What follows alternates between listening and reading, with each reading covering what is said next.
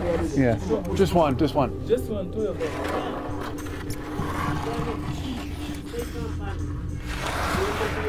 Okay, okay.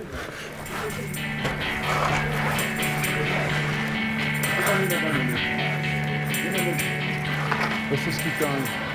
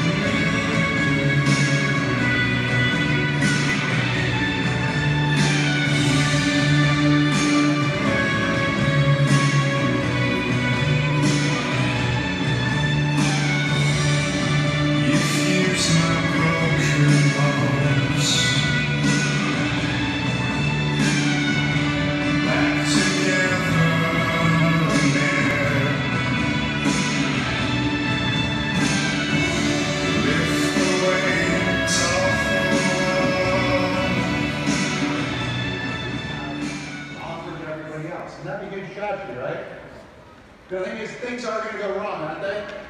No matter who you are, things are going to go wrong. Are you ready? This is your line again. You ready? One, two, three.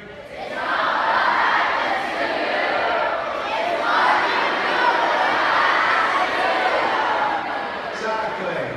Not what happens to you, it's what you do with what happens to you.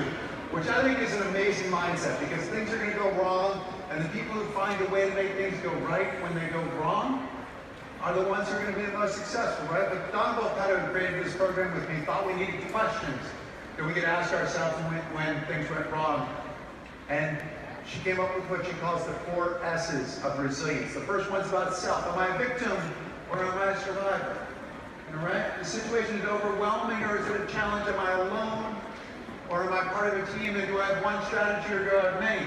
Now, when I was in the hospital, I didn't want to be in the hospital. But I had to be in the hospital because I hurt myself really badly. So you didn't really break the record. And then I looked at the guy next to me, and a porter on the mountain. He's up early one morning, carrying the gear well before we ever met him, and there was a rock slide. Rock slide that killed three people who were still asleep in their tents. It had ripped Tajiri's leg off of his body.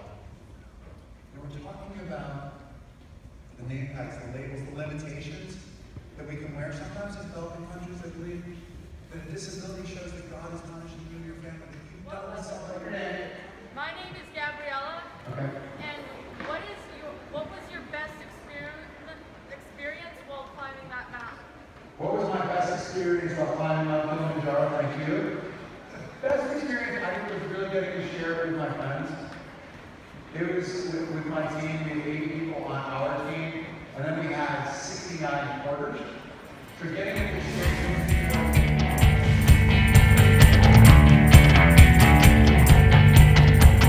don't look at a disabled person and say that person's disabled. I look at a disabled person and say, what can they do? They can do a lot. When he said he was going to climb Kilimanjaro, I thought, well, how are you going to do that? And so with the new leg, are you will you be ready? Um, I wish. I wish. I wish you could. Yeah, yeah, good. Yeah, it's ready. Yeah. You'll be ready. You'll be ready. Yeah, sure. I think it's a huge challenge, but of all the mountains that you can choose from out there, it seems like Kilimanjaro is probably the right one. It's steep, high. And what I've been trying to encourage him to do is to accept the way he is now. Chris, go get up. Thank you, sir. I mean, some of us put goals out there that are so easy to achieve that we never fail. Chris puts goals out there that are extremely difficult, that have aspects that you could fail at. Mountain. It's a public attempt to to make a statement.